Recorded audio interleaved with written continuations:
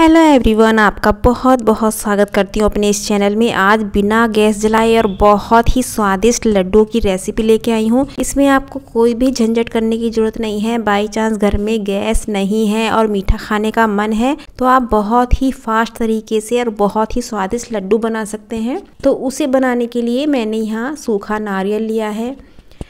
इसे बनाने के लिए केवल आपको एक ही बात का ध्यान रखना है कि आपका जो नारियल है थोड़ा ऑयली होना चाहिए, जो बहुत ज़्यादा ड्राई है, सूखा है, जो कटने के बाद ऑयल नहीं निकल रहा है तो वैसा नारियल आपको बिल्कुल नहीं लेना है।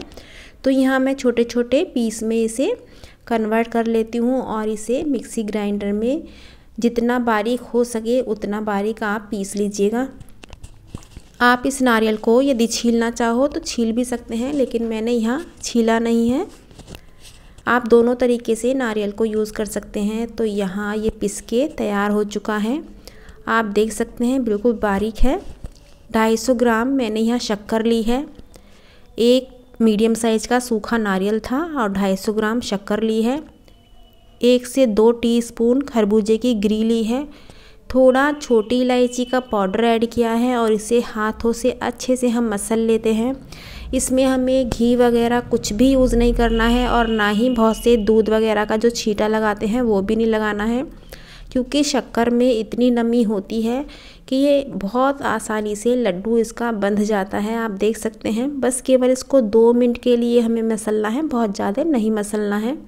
तो आप देख सकते हैं, बढ़िया से ये हमारा सारा मटेरियल तैयार हो गया है। तो इसकी अब हम लड्डू बाँध लेते हैं, जो भी साइज़ आपको चाहिए, छोटा, बड़ा जितना भी आप खाना पसंद करते हो तो ये इस तरीके से लड्डू बहुत ईजी तरीके से बन जाते हैं। इसमें आप चाहें तो बादाम का चूरा वगैरह डाल सकते हैं, थोड़ा बादाम को कूट के या काजू को कूट के इसमें ऐड कर सकते हैं।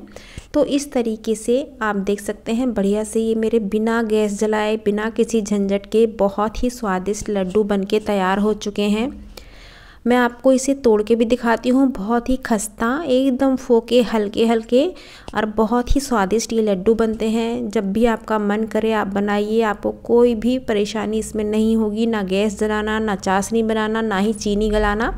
तो रेसिपी अच्छी लगी है तो प्लीज़ लाइक, शेयर ज़रूर कीजिएगा। चैनल पे पहली बार आए हैं तो सब्सक्राइब भी कर लीजिएगा। कल सुबह फिर मिलते हैं इसी तरह की बहुत ईजी रेसिपी के साथ।